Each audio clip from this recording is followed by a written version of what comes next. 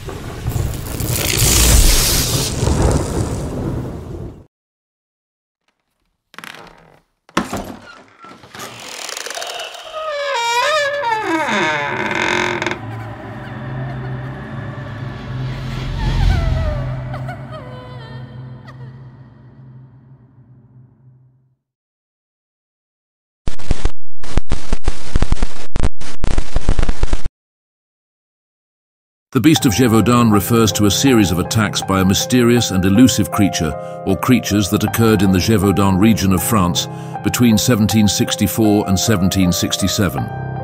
The attacks mainly targeted local peasants and livestock, resulting in numerous deaths and injuries. Descriptions of the beast vary, with accounts suggesting it was a large wolf-like or hyena-like creature. Some reports described it as having a reddish fur and being the size of a cow. The attack sparked widespread fear and hysteria in the region, leading to efforts by locals, hunters and the authorities to capture or kill the creature responsible.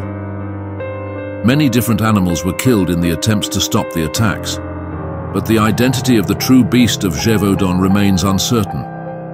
Some believe it was a particularly large and aggressive wolf or a hybrid species, while others speculate that it could have been a lion or some other exotic animal. Eventually, a large wolf was killed by a local hunter named Jean Chastel in 1767, and the attacks ceased. However, controversy and mystery still surround the true nature of the beast, and the events have become the subject of various legends, stories, and even films.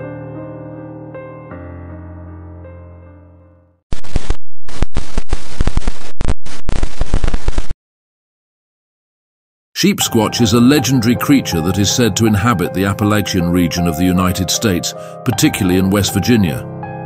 Descriptions of the sheep squatch vary, but it is often depicted as a hybrid between a sheep and a Sasquatch or Bigfoot.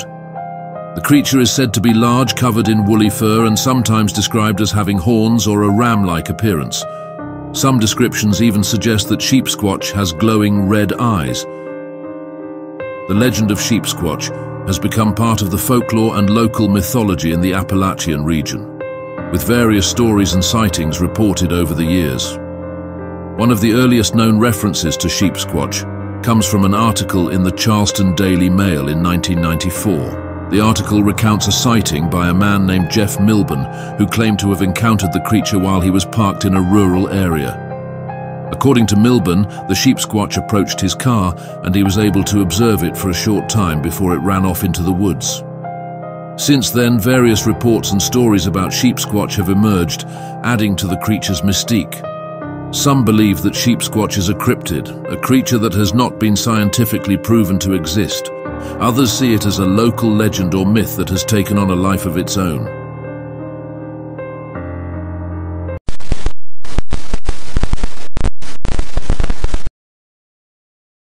Walking Sam, also called Tallman or Stovepipe Hat Bigfoot, is described as a seven-foot-tall figure with eyes but no mouth, sometimes spotted wearing a stovepipe hat. When he lifts his arms, one can see the bodies of previous victims hanging beneath. When teenagers hear his calls, he tries to convince them they're worthless, urging them to harm themselves. Some think he goes after younger people because they're more easily fooled by his tricks. Others believe he might not be intentionally harmful, but rather someone who roams the woods as a form of punishment, seeking companionship. There are also connections to boogeyman stories and Slenderman myths. Looking at it from a cryptozoological perspective, some speculate he could be another version of, or somehow linked to, Bigfoot.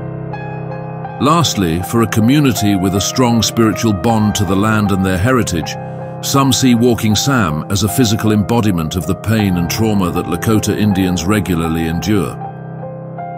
As the mystique surrounding Walking Sam persists, the legend weaves together elements of horror, folklore and cultural symbolism, leaving those who delve into its narratives to grapple with the complexities of the unknown.